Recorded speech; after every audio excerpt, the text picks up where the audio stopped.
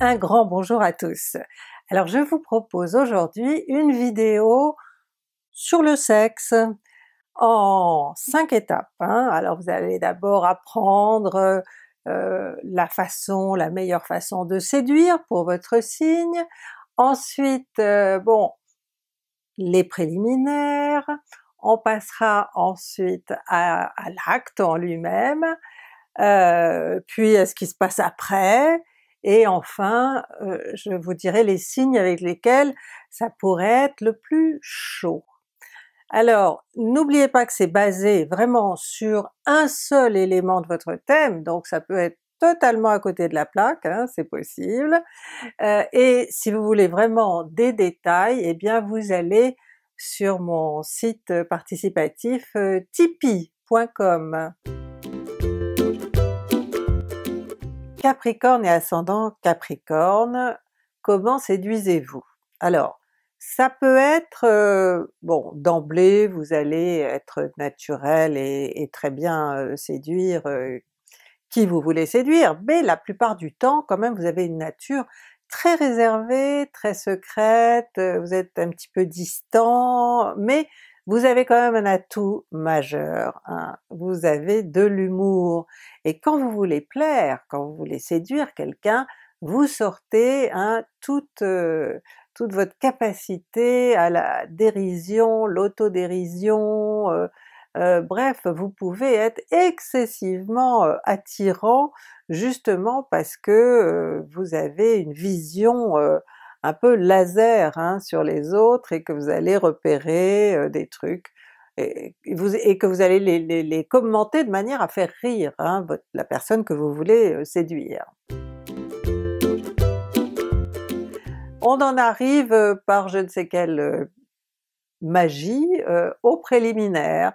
Vous êtes, bon, vous avez passé peut-être la soirée ensemble, vous êtes allé au cinéma, vous allez, vous êtes allé faire quelque chose, bon, au restaurant, enfin bref, donc vous voilà chez vous ou, chez l'autre, et donc là vous êtes de nouveau un petit peu empêtré dans votre réserve, votre timidité, donc vous allez peut-être compter sur l'autre pour vous ouvrir un petit peu, hein, mais il faut que vous appreniez hein, de toute façon à vous ouvrir si vous voulez que ça se passe bien, parce que sinon bon ça va être un petit peu difficile.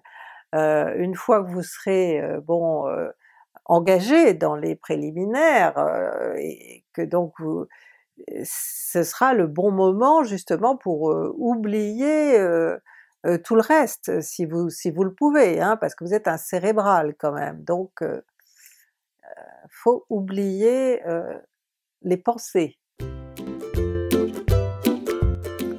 Pendant l'acte, vous pouvez oublier les pensées, hein, vous pouvez les remplacer par des fantasmes, par des images érotiques, parce que de toute façon votre tête elle va continuer à fonctionner, mais il faut barrer la route à tout ce qui pourrait vous empêcher d'éprouver du plaisir ou de même de d'être dans le, vous voyez, dans, un mouvement qui va vous amener à éprouver du plaisir. Donc euh, c'est euh, important que vous ayez un partenaire qui, qui, sache euh, vous parler un petit peu, vous parler de ses fantasmes, ou en inventer hein, uniquement pour vous pour capter votre attention sur quelque chose du corps, sur quelque chose de, sensuel, de manière à ce que vous oubliez hein, tout le reste. Plus vous oublierez le réel, hein, dans lequel vous êtes souvent beaucoup trop, plus vous serez dans le fantasme, dans je sais pas, l'imaginaire, dans tout ce que vous voulez, mieux ça marchera avec votre partenaire.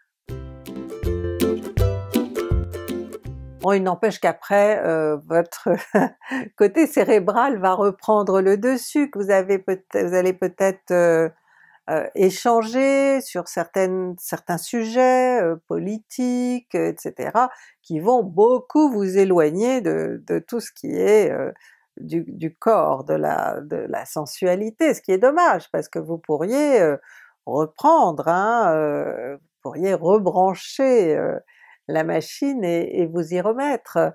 donc essayez de ne pas trop lâcher le côté sensuel parce que bon vous avez envie d'évoquer certains sujets, peut-être pour mieux connaître l'autre ou parce qu'il y a des sujets qui vous tiennent à cœur.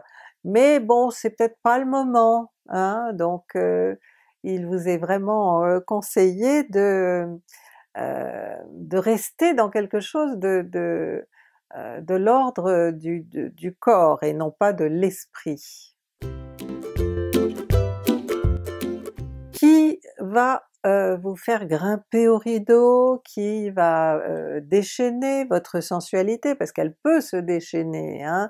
si vous avez affaire à quelqu'un qui vous met complètement la tête à l'envers, il n'y a pas de doute, ça marchera.